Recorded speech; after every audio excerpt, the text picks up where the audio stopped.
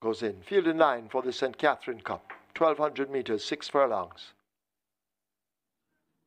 Starter ready. They're off. Almost perfect start. Madeline Sunshine, as expected, comes away running. God of Love the same.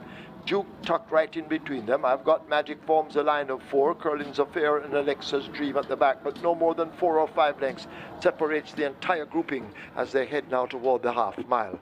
They're almost there, about to exit the back stretch, and I've got Magic now kicks and goes on by some three lengths now, four over Madeline Sunshine. God of Love continues the chase in the red. Alexa's Dream is racing next ahead of Curlin's Affair, and Duke occupies the run on the rail and now begins to progress as they go slipping past the three. It's I've got Magic out in front on the terrific Tevin Foster. They try to steal the show in the St. Catherine Cup as they come into the lane, and it's I've got Magic holding a clear lead. Here is Duke now running on best of the rest toward the outside in the red and getting the right hand stick. That's a God of Love, but it's I've got Magic inside the final 316th who continues to deny them. I've got Magic Duke now beginning to edge closer with God of Love at the outside. Curlin's Affair beginning some sort of a late run, but it's I've got Magic with that lead out in front. They're not going to stop. I've got Magic from winning the St. Catherine Cup. I've got Magic takes it. Duke is second. God of Love is third. Curlin's Affair has finished in fourth.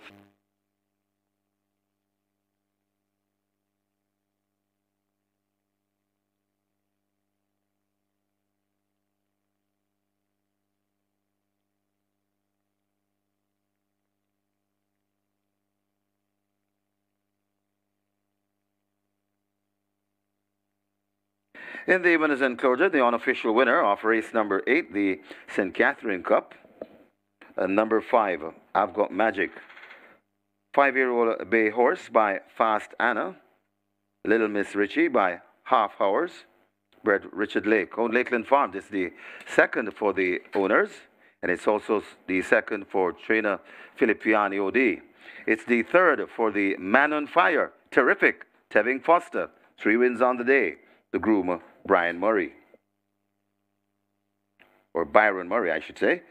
That's the winning groom.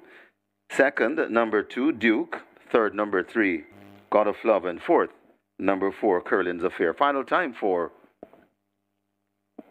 1200 meters, 112 and a 3.